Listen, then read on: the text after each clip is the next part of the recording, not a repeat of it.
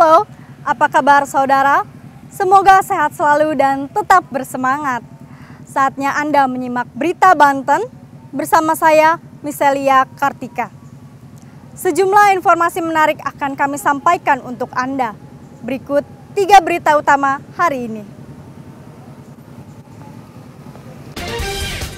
Dampak perang Lebanon-Israel, puluhan WNI tiba di Bandara Soekarno-Hatta.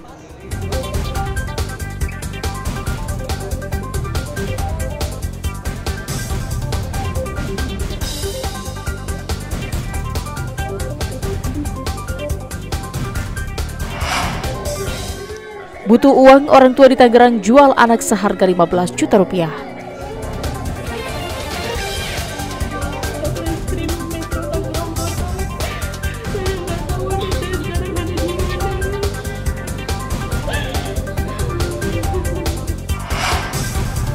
Lapak barang bekas di Tangerang Selatan terbakar, seorang warga pingsan akibat panik.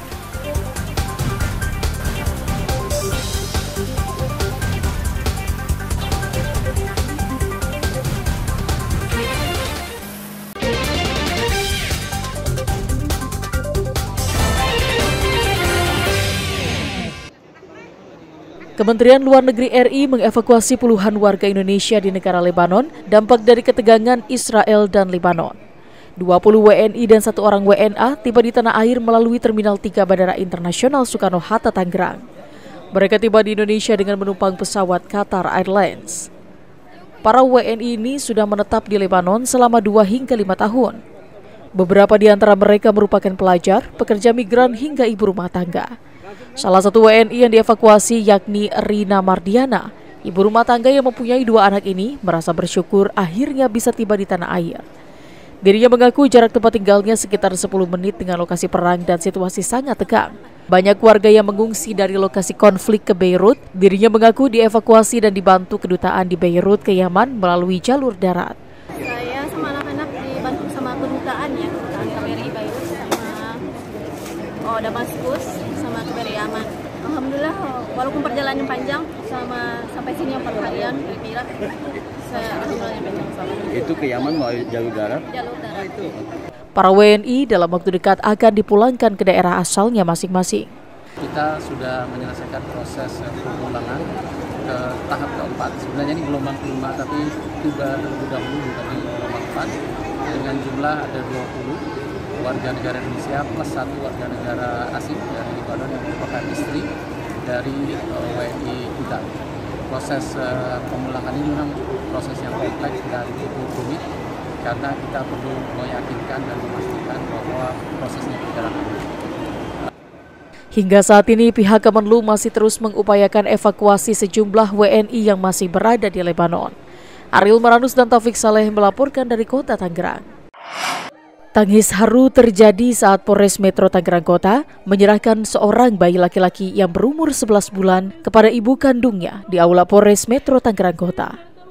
Balita ini menjadi korban penjualan perdagangan orang yang dilakukan ayah kandungnya. Sang bocah berhasil diselamatkan setelah lebih dari 40 hari berpisah dengan ibu kandungnya. Selain kembali menemukan sang bayi, polisi juga menangkap pelaku yang tak lain orang tua korban dan pasangan suami istri di kota Tangerang.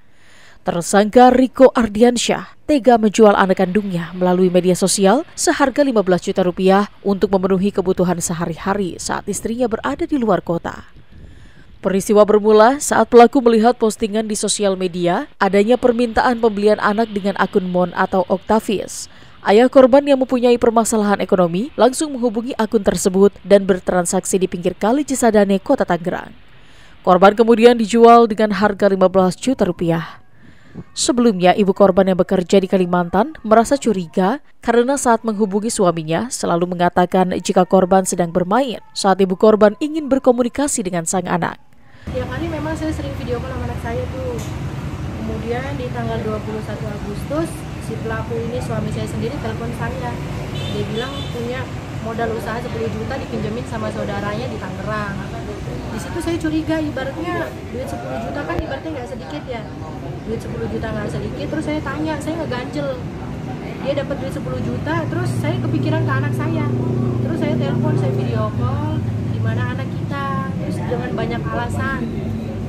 Anaknya di luar lagi main. Terus di situ feeling saya nggak enak.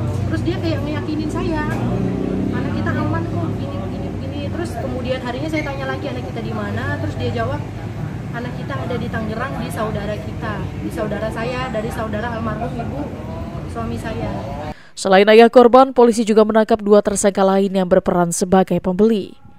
Alhamdulillah kita sudah bisa menemukan bayi beserta eh, pasangan yang membeli bayi tersebut dari eh, suami atau ayah dari korban ya bayi tersebut. Alhamdulillah dari hasil pengecekan bayi dalam keadaan sehat sehingga pada tanggal 5 kita sudah bisa serahkan bayi tersebut kepada ibu dari bayi tersebut. Kemudian ada pun motif dari pelaku menjual bayi tersebut seharga 15 juta karena kebutuhan ekonomi ya termasuk juga untuk membeli handphone dan termasuk juga untuk digunakan untuk main judi online. Jadi seperti itu. Akibat perbuatannya, ketiga pelaku akan dijerat dengan Undang-Undang Perlindungan Anak. Ariel Maranus dan Taufik Saleh melaporkan dari kota Tangerang. Perayaan HUT ke-498 Kabupaten Serang diwarnai demonstrasi dari berbagai kalangan organisasi mahasiswa di pendopo Bupati Kabupaten Serang. Aliansi dari mahasiswa berdatangan satu persatu mendatangi pendopo Bupati untuk menuntut sejumlah permasalahan yang berada di Kabupaten Serang seperti pendidikan, kemiskinan ekstrim, pencemaran lingkungan hingga korupsi. Mahasiswa juga sempat menerobos pagar pintu pendopo bupati hingga terjadi aksi saling dorong antara mahasiswa dengan petugas keamanan Satpol PP. Mahasiswa berpendapat bahwa pemerintah daerah Kabupaten Serang gagal menangani permasalahan yang ada di Kabupaten Serang. Mahasiswa juga menyebut Kabupaten Serang sebagai gudang permasalahan yang ada di Provinsi Banten.